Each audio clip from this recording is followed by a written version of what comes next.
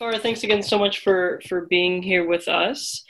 Um, I guess. oh, of course, yeah. Did Did you want to introduce uh, or say a little bit about the film before I ask any questions? Yeah, I mean, um, Cells of Illegal Education was created originally as um, a video dance installation. So it's been screened as a film as well. But um, yeah, when it was envisioned, it was more about the installation where there is the setting of the kitchen.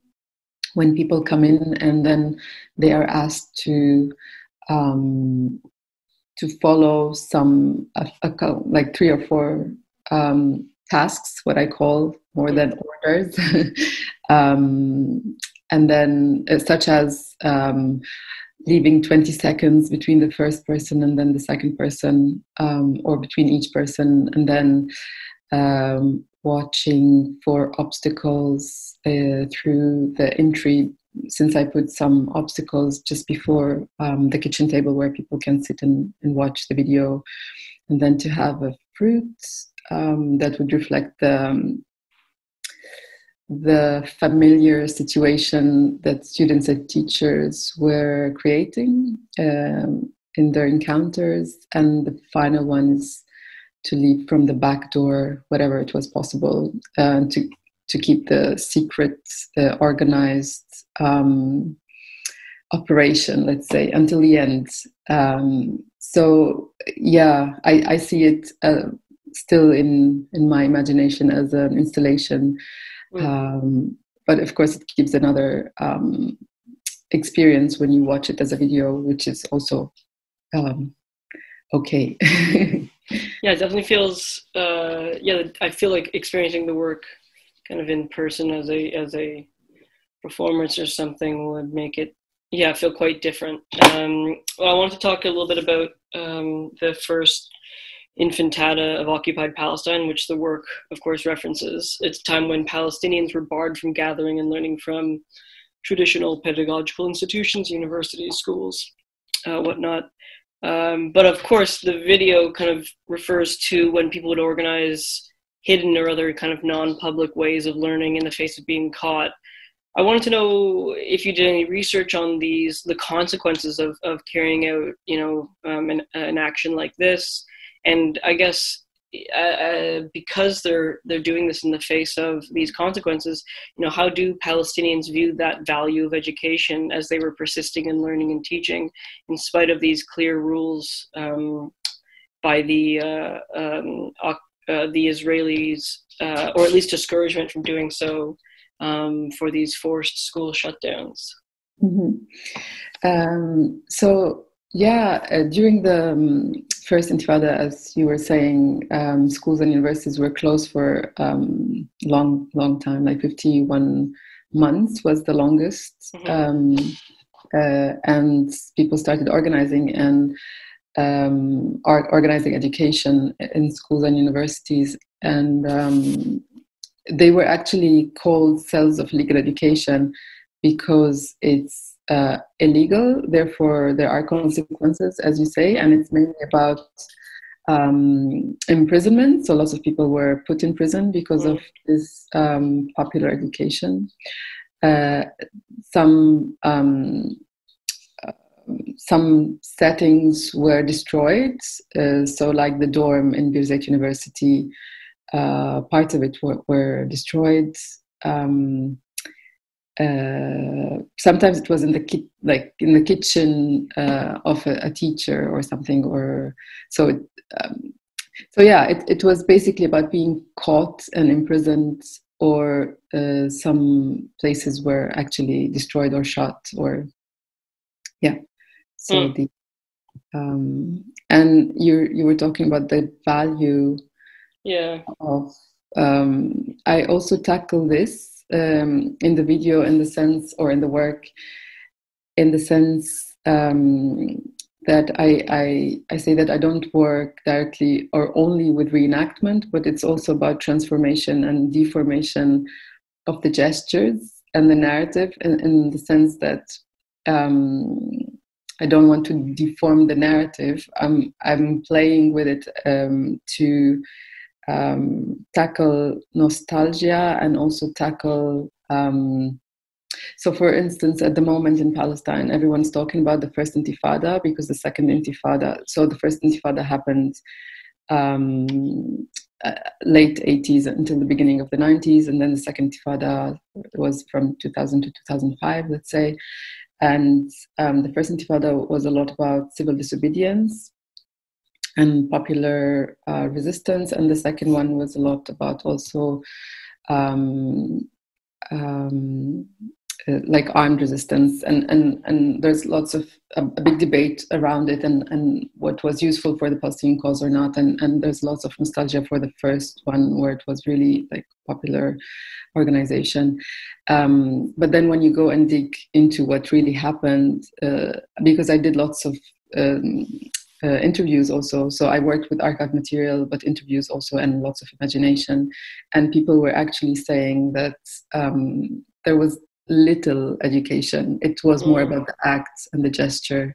And that's why I say deformation of the narrative, because if you go and read about it, it's all about, oh, this uh, mm. movement and popular education. But then it's, it's, yeah, it was more about, about the gesture, about mm. not wanting to abide. And then another, yeah, just another note about this transformation or deformation and not pure reenactment is about women's role in the first intifada which was prominent. But now when you go and read about it or you hear about it it's not very it's not there. Somehow it disappeared. It's latent. Um, so in the pictures as well um, when i talk to people where i got these pictures. So it, it's all personal archives. Of course we don't have a state archive because we don't have a state. Um, so when I, I took these um, pictures, for instance, from uh, people, students of and activists from that period, um, I was wondering, like, where are the women in the pictures? And they were like, um, they were not in this picture, or that night it was late, they didn't come, but usually they were there. Mm-hmm. Um, so yeah, I, I yeah. So while talking to people, uh, of course, the the um, the role, the w- women's role, is huge, but it's not documented or it's not there mm. in official archive So I was interested in working with three female um, figures and three male, um, and deforming these pictures that we were working with uh, and playing with the before and after of each um, picture uh, based on imagination. Hmm. Um, yeah, it's interesting talking about um, uh, that aspect because I think it kind of dovetails into the next question about talking about the importance of dance, but more specifically, at least, uh, bodily autonomy that the film conveys through these seemingly kind of chaotic but choreographed movements um, of the work subject. So, to you, what's the relationship between you know living under that oppressive rule and reclaiming some type of corporeal autonomy um, via dance or movement or, or performance? Yeah, I mean it's. Um, uh, I find I find it essential for mm. my being, and I feel lots of people find it as an outlet. But not only it's like uh, a lot about um, expression, but also documenting or um, yeah, it's about presence that we are here. Um, yeah, the Palestinian situation is a lot about um, controlling bodies, controlling mm-hmm. lands, or controlling movements. Mm-hmm. Um, my parents, for instance, are are still in Ramallah, and um, now it's becoming a bit like Gaza, another big prison, the whole West Bank, because of um, first of all, because of I'm not sure if it's first of all, but it's um, things intersect. So at the moment there is COVID, of course. So mm-hmm. um, the um, uh, the bridge, let's say, which connects Jordan to Palestine, is completely the crossing, land crossing uh, between Jordan and Palestine, is completely closed. And then, of course, Palestinians are not allowed to travel through Tel Aviv. So there's no way out of the West mm-hmm. Bank at the moment, and uh, this might continue. So the, the Gaza scenario might go to West Bank as well.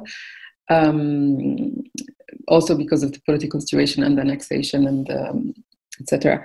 So it is a lot about controlling bodies and movements. Um, and dance is a is an outlet and not only yeah it has different layers of why like i feel it has different layers why it's it's important on a personal level but also on a collective um, level yeah i think um, uh, i know some other artists who produced work behind kind of different oppressive regimes um, and just the you know kind of simple interventionist acts of being free with your body or being free with your movement were quite quite radical, quite rebellious um, mm-hmm. within that context. And I guess you you kind of just spoke a little bit about this, but I wanted to talk um, a little bit about the idea of isolation and like historically, and then I guess within um, contemporary Palestine because of not only COVID but of um, um, kind of the the recent history of Palestine. I don't know if you've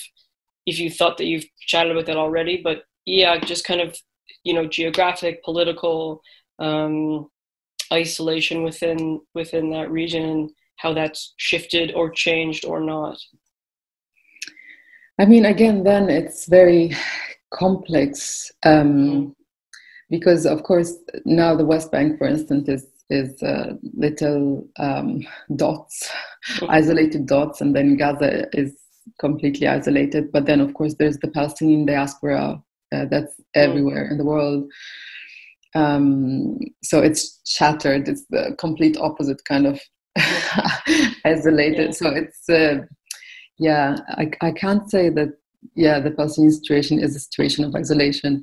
Mm-hmm. I can be a, a situation of imprisonment um, I was discussing this with uh, with someone yesterday. Um, many people now are relating it because, like, a quarter of Palestinian adults uh, or the Palestinian males were imprisoned by the Israeli occupation by now. So it's huge. Like, it's mm. a collective experience being in an Israeli prison. Um, so, and yeah, it's um, I yeah, it's it's one of the aspects of the mm-hmm, mm-hmm. Palestinian mm-hmm. situation at the moment, for sure, isolation. And some people were even uh, laughing about how quick people uh, could uh, be put into a lockdown because they're oh. used to it. Uh, Israel in one day can uh, put a curfew and everyone will, is obliged to stay home. Of course, there is resistance and disobedience and everything, but it's embodied. Like you know how to do it. You know how, how to deal mm-hmm, with it. Mm-hmm, mm-hmm it's not um, it's not nice to do it, but yeah, it's just yeah.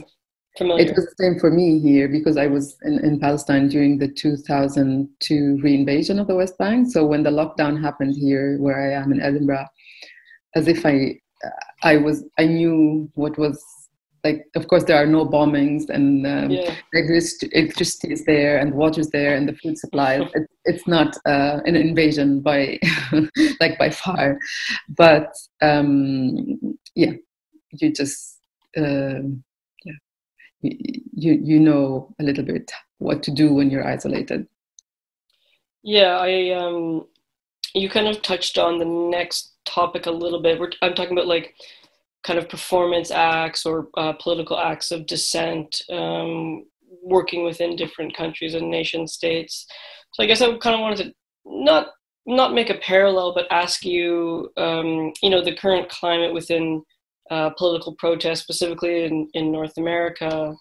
Um, the, you know, I want your kind of idea on the role of protest or the types of protests that you might find um, are maybe not maybe not most effective, um, but you might find are the are more valuable um, because we see all these protests, you know, happening in North America, but also there's so many different forms, and you know, they take just with your work, you know, they take so many different, um, uh, yeah, forms throughout the throughout the world. So I kind of wanted to, yeah, chat a little bit about the idea of protest and forms of protest. Yeah, I mean, I've been following uh, what's going on, and um, completely relate to the struggle. Uh, and um, yeah, and I see lots of parallels. Of course, yeah, it's not the same situation, but um, yeah and i don't really like at the moment the word solidarity because what does it mean but yeah i can yeah i can relate um, and there are already very interesting ways of protesting uh, which started way before um, with with the first uh, wave of um, demonstrations with don't shoot mm. then at the beginning and then th- there was lots of um, gestural work um, mm-hmm. around it uh, already the the don't shoot yeah. or um, some people took the standing man from Turkey mm-hmm. into the US, yeah. uh, and then there there was the die-ins. So uh, yeah. actually, I'm, I'm, very much in, following also for my own work and my own research around the archive mm. gestures.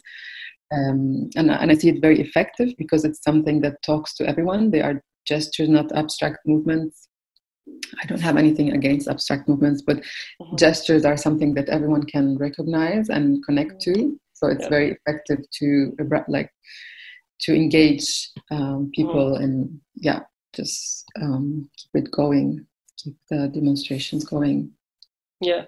Um, okay, let's uh, open it up if there's any questions from um, you know, uh, typed in, or I'm going to let people know uh, within the chat if you want to message me any questions. Uh, feel free to, and I know that um, Noor and Claudia might have a couple. Oh, yep, yeah, there we go. Do you want to go first? Sure. Well, there's this really interesting thing that you brought up earlier, um, you know, in terms of um, gathering material from individual archives because, you know, there exists no state archives because there is no Palestinian state. And this was an interesting topic that also came up last week during the first part of this program with an artist, Jumana Manna. And I thought it was very interesting just the relationship that can be drawn between both of your works and kind of, I guess you could say, situating this kind of historical knowledge in the human body as a way to convey it by means that aren't quite so precarious as like a piece of paper, right? That you might not be able to trace back to something because it doesn't necessarily have a kind of, um, I guess you might say, um, a chain of command that can be easily traced because these materials are so uh, dispersed, right, and not centralized in any particular place. And so I wanted to perhaps hear your thoughts on this idea of embedding uh, the body uh, with this kind of knowledge through movement, through choreography, as, you know, using, I guess you could say, performance as this way of transferring knowledge through movement. And perhaps if you could also speak to what kind of information this might give you that you might not be able to get from just looking at a document or a photograph. Hmm. Yeah, thank you. Yeah, so I've been researching um, since like 2014 the idea of the body as archive and more specifically working on a long-term project called the archive of gestures. Um, so cells of illegal, illegal education was the second narrative that i i worked with and tried to unearth through the, the body uh, on the bodies of um, my co- collaborators. Um, so yeah as you say for me the body is um, carries uh, this knowledge um, that it, it lived, uh, but also accumulated from previous generations by by hearing uh, oral uh, history and and seeing images. So it's like it's this accumulative um, um, process of archiving um, the personal and the collective, and then um, I feel that I um, prioritize the body uh, and, and, working with the body as archive rather than just mere documents is a lot about uh, affect and and so it's the knowledge and the, uh, the, the, affect that it carries and can transmit uh, which maybe documents or other physical archives don't. Um, and um, and from the beginning um, I started uh, to, work with this transmission um, that now I call it less less transmission, but it's more exchange um, uh, th- through interactivity and participation in these um, installations, but also live performances. So, how would this bodily archive um, disseminate? So it doesn't only uh, I don't only carry it, but since we are all living archives, so how do I exchange uh, my knowledge with yours uh, without doing copy and paste? So if I ask you to interact with me and put you in the context of this um, narrative, this hidden narrative, uh, and then ask you to reenact in your own way these gestures uh, as a way of trying them and, and yeah, embodying them in a different way with your own own interpretation. Um, so it would be for me a way to disseminate this knowledge and yeah, just make sure that it doesn't disappear, that it transforms and even deforms, but it doesn't disappear because there's lots of discussion about the body and performance being transient. transient. So, so it dis- disappears after the performance period, which I try to challenge. Thank you. Um, it, was there any other questions by the Axis Curatorial Collective? I think I have uh, one more question, and it's something that you know, watching your video, Claudia and I were talking about it, and it's um, the term they use uh, cells. We know that the um, that the Israeli military sort of imposed that term, cells of illegal um, education, but that term uh, cells offers like an entry point into discussions about both the body and the military. So there's the idea of the military definition of cells, right, as this clandestine group. But there's also the scientific term that defines the cells as a singular unit. And when you bring them together, it forms like a body or an architecture um, or a structure. So for us, um, we were thinking about like, what do you, what are your thoughts on these metaphors about the body, the military cells? Like, there's something there that's quite um, beautiful, but also like subversive, right? There's like an inverse relationship happening at the same time. Yeah, I mean, of course, it's a military term, term, mm. and Palestinians also were um, sometimes calling themselves. They were not calling themselves cells because it's like, yeah, um, yeah. In, they were calling themselves like uh, companions more, depending uh, whether they were left or right. Yeah. Depend- so the term changes, but uh, and the terms that they were choosing were reflecting a lot about having a, a collective of people working towards liberation. Um, so it reflects a lot also this cell, body cell coming together, mm-hmm. and it was a lot about uh, collectivity and much less about individualism or being individual, singular mm-hmm. individuals, uh, which yeah, which is now basically about that. Um, uh, but yeah, no, it's interesting because I haven't thought about it also in that way when I chose the title. Of course, yeah, it comes from that. Um, but yeah, thank you for pointing that out for me to analyze in the future. Yeah. Uh, so, Matt, go ahead. Yeah, sorry, I have I have a question from the audience.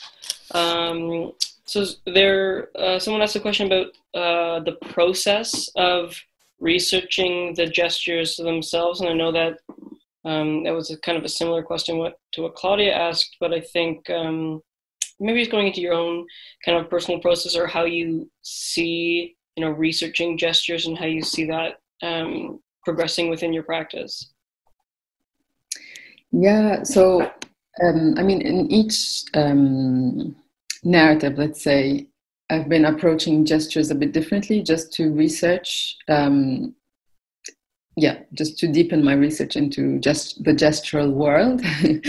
um, so in Cells of Illegal Education, the research was a lot about the tension between um, pedestrian gesture, daily gesture, and dancey dance. So we were like looking at the where is the limit, what is readable, what is not, and why and then it was a lot about working with um, parameters of what an archive is um, of Derrida, which are not like um, treated as uh, as the main or the only uh, parameters, but it's something to play with.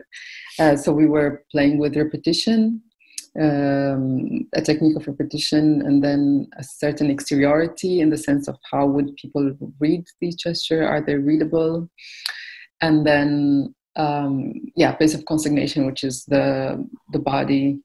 Um, so we were yeah just playing around with these three parameters: the tension between um, gesture and dancey dance, and then it was a collective work, of course. So I was I I chose the pictures um, and did the interviews and then also asked every like the dancers the collaborators to bring their own stories. Uh, they were not active in the first intifada because we were a younger generation so it, it was all about our parents and grandparents.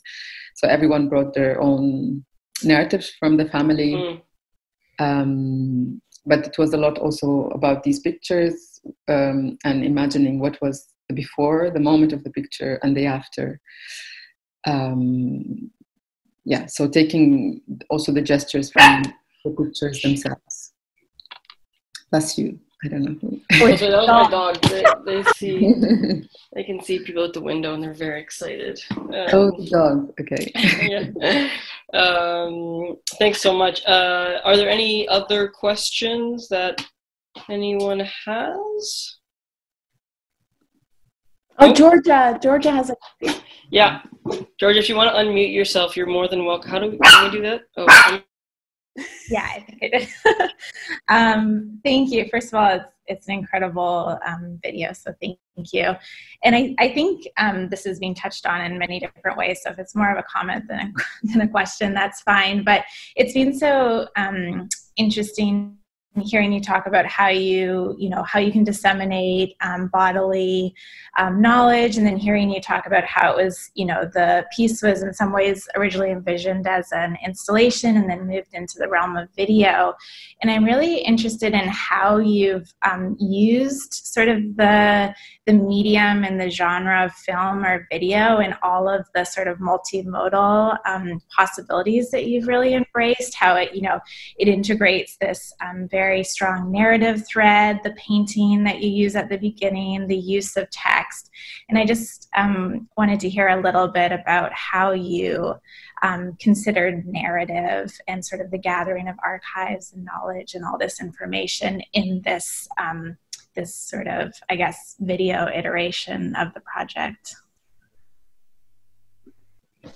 Yeah, I mean, it was important for me to to uh, reflect also the process uh, in the video itself or in the work itself, because it was really like a, um, a research on on the ground with the people talking to Birzeit University, the, students, but also the institution. Um, a student who is now in, like he, he's now a, an architecture professor at the University in Gaza that I had to interview over the phone because it's impossible to, yeah, to access Gaza. But it, so I, for me, it was very important to um, reflect the process, but also the words and the narrative of the people that they recounted. That's why sometimes it like the um, captions were there. Mm-hmm. They, they're not quotes and quotes, like I paraphrase them, but it, it is the context that people gave. And same with the pictures or the painting. It's it, there are things that people refer to uh, because paintings and posters were very present, like in the first Intifada. Um, art, like the artistic movement um, was contributing to this uh, popular resistance um, in all its forms. Um, so it was painting, writing, um, even dancing, but it was mainly dabke, the, um, the Palestinian folkloric dance.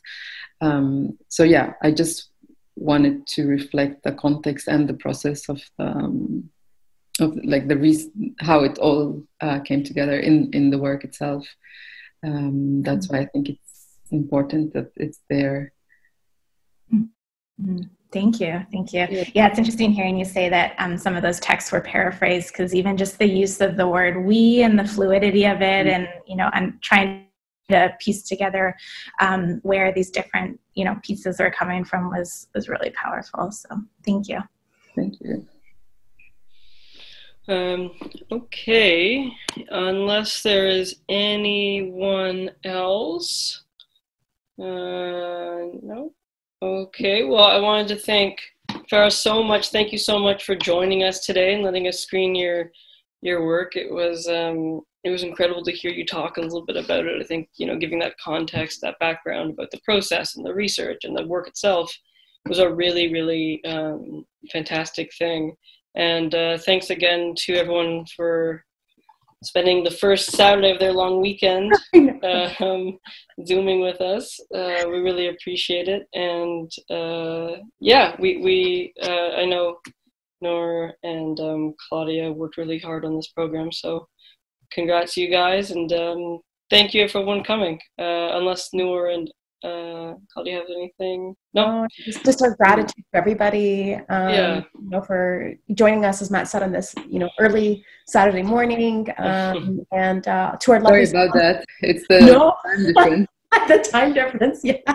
We knew it was going to happen. Uh, we were going to have people that were sleeping in because they had a good Friday night. It's not a big deal, but we're so thrilled to be having you. And um, we're also incredibly grateful to our sponsors, um, mm-hmm. the Barjeel Art Foundation in Sharjah, um, the Drum Art Gallery, Video Pool, Media Arts Center, um, and of course the Visual Arts Center of Clarington for yeah, hosting this. So, hosting this program. So yeah. very grateful. Thank you, a million thanks. Yeah, and I wanted to thank you, of course, for having me and and and, and um, for um, yeah, including me in this program and, and screening the work. And and I think there are two messages from Ivana and Lumir. Lumir, right? Oh yes. Um, yeah, just yeah, thanks. And uh, yeah, and this is a pretty very happy we can do this yeah our pleasure. Thank you guys. Yeah thanks everyone. And the, the talks are going to be available on the vac website um, soon whenever i figure out how to put them up. Thank you so much ivana. Yeah thank you. Bye bye guys. Jill, everyone bye everyone. Bye. bye.